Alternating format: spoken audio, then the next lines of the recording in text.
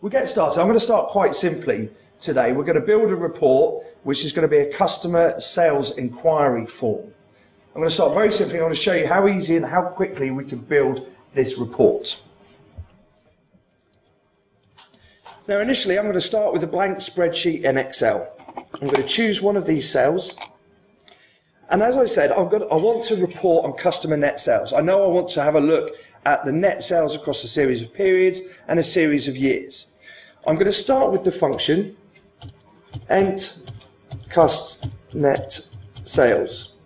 Now, it's easy for me to say I'm going to start with that and type it in as you've seen there because as a training consultant I'm expected to know a lot of these functions but if I didn't know the actual function name there's several ways I could find it most predominantly by using the help file in Iris Exchequer. And as you can see, there's a whole section at the bottom there for OLE.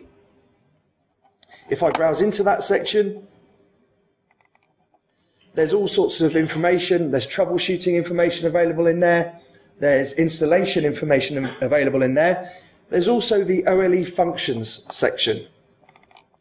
Double click in there, and there's a series of options about how we can determine which function we need for the particular report we're building. There's an alphabetical reference.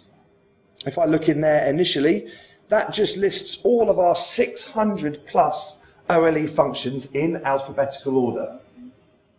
They're mostly easy to follow. The customer ones will start with ent cust, the job ones will start with ent JC, general ledger ones with ent GL, and so on. To make it a little bit simpler for, for us, and especially for me, we have broken them down into categorical references. The first section at the top there shows our Excel gets, what we call gets. That's the functions we use to get information from Exchequer into our Excel workbook. The second section underneath that is what we call our Excel saves. For those of you with the OLE Save Pack, that's where you can find the functions available to save information from Excel back into your Iris Exchequer company. I'm going to start with the gets. I know it's a customer get I'm looking for. So I click on the customer section. There's my list of customer get functions. And I can see there's one there called Entcust Net Sales. If I click on that link, it gives me detail now to tell me exactly what this function does and that it returns the net sales for the specified year and period from the customer's history. As a little tip, it also tells you that you can use a supplier account in there if it's net purchases you're interested in. Importantly, though, at the top, it shows me the four variables I need to be able to get the information I want. In this case, I need a company, a year, a period, and a customer code. So if I return to my function in my spreadsheet now, I'm going to put that information in. First of all, it asks for a company. This is the company code as you'll see in your multi-company manager. Some of you may recognise the classic demo company of Eleco One. For those of you with multi-companies, you'll be able to see how you can report on all of those companies once or individually. I'm going to put in the year I want. In this case, I'm going to choose 2007. The period I want will start with period one. And finally, the customer I want. In this case, Linto one.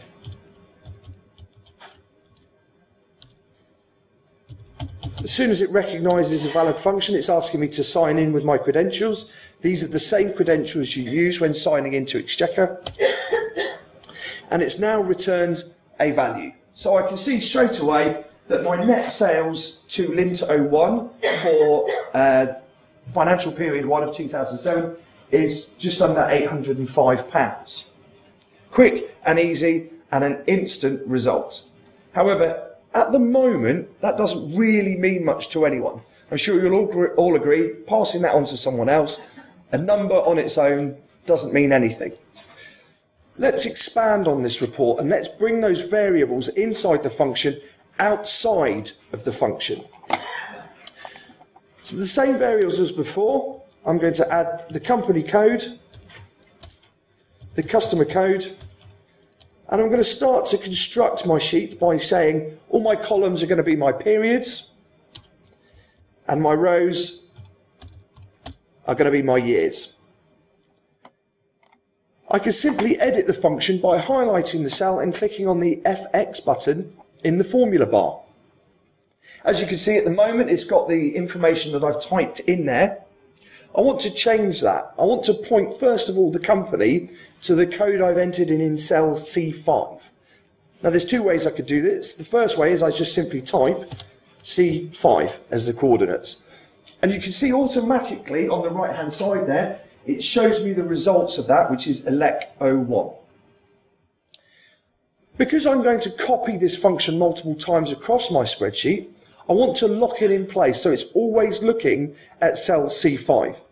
To do that, I can press the F4 key. The F4 key places a dollar in front of both the column and row grid references to lock it to that cell. I could, if I wanted, manually type those dollar signs instead of pressing the F4 key. For the year, again, I want to point it to its cell, uh, in this case B10. Instead of typing it in, I can just click on the cell like so, and it places the coordinates in that cell. I want to lock it again, but I only want to lock it to the column this time. So I can press the F4 key three times until I get the dollar just in front of the column reference of B. Again, if I prefer, I could type the dollar sign in there. I'm going to do the same for the period, and this time lock it simply to the row by pressing F4 twice. And finally, I'm going to do the same to the customer code and lock it in place. When I click OK, there's no actual difference to the result. I've not told it to do anything different. But now, by changing any one of those variables, I can instantly get a result change, like so. So I've now changed it to show me period 2 of 2007 instead of period 1. Using that and expanding on the report to build it with all the periods available, I'm simply going to extend my periods across like so and my years down.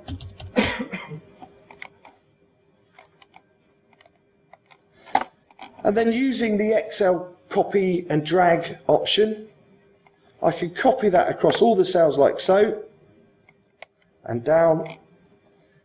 And in a very, very short time, because of the way I've locked the function and locked the cell grid references, I've now got a report that shows me the net sales for 2007 to 2010 broken down to all 12 financial periods.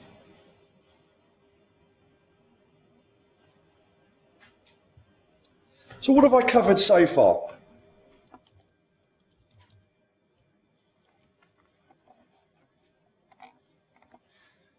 Very simply, I've started to create a simple and informative customer sales inquiry form. I've added in the function of ent cust net sales to that form, giving it the valuable variables it needs of the company you want to get it from. So again, with multi-companies, you can see more than one company the year I want to report on, the period I want to report on, that's the financial period, and the customer code. I've expanded on that to produce multiple results on the function. Like so, by extending the periods and using the copy and drag function, we've now got a much broader range of results. Let's look, have a look at some additional formatting. At the moment, as a report, it still isn't really as informative as we'd probably like. If I was to give that to you as a report, you'd look at that and say, all right, I can see that's some valuable, some values over some periods and some years, but who's it for? What's it telling me? First things first, I'm sure I don't need to explain to you how to do this, but I'll give it a name.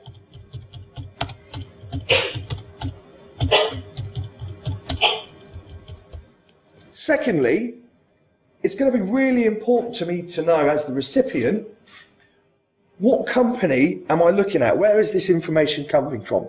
So I'm now going to add my second function to the sheet. And this is called ent company name. I simply point it at the company cell as before and lock it in place. Press return. And now it tells us that the company is Electrics R Us. Brilliant. I'm a little bit further to knowing what I'm looking at. So the next stage will be the customer. Again, I've got another similar function I'm going to add to it called ent cust name.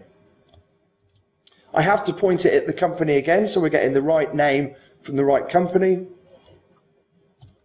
And point it at the customer code, like so. And now it's returned the name of that customer. So I can see these values are from the Electrics R Us company for the customer Linton Alarm Distribution. But exactly what are those values? Well, let's give that a description as well. I'm going to edit the field I've put my year in, and I'm going to call it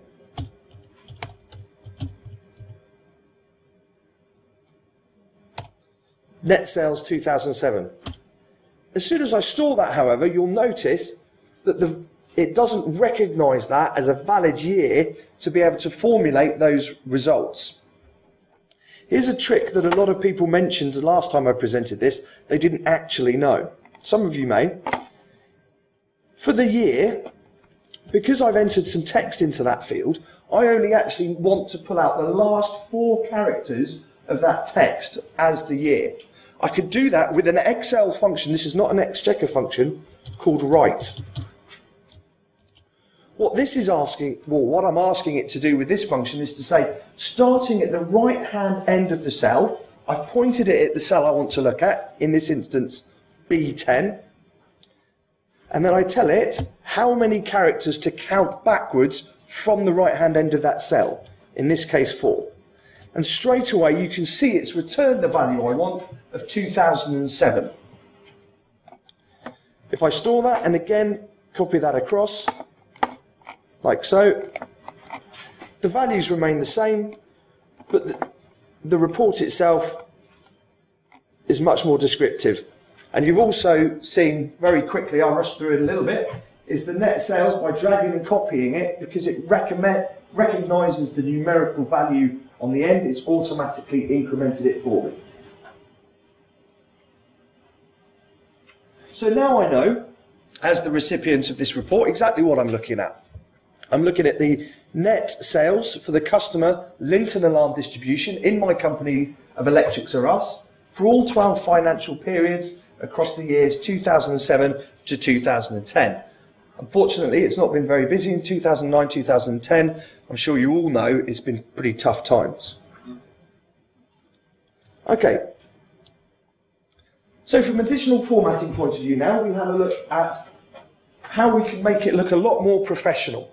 We've added in some functions. We can also tart it up a little bit. And as you can see here, in true Blue Peter style, here's one I've prepared earlier. by simply using some formatting, changing the colours of some of the text, putting in some grids and some borders, I've smartened it up a bit and made it look a little bit more professional for my management team. What's next? Well, the next step would be to say, how can I get more from this same report? So far, I've used only three of our 600 plus functions. I'm not going to use any more, but I do want to extend the report to show me cumulative sales for the same range of periods. Okay? So I'll start off by adding in my row range.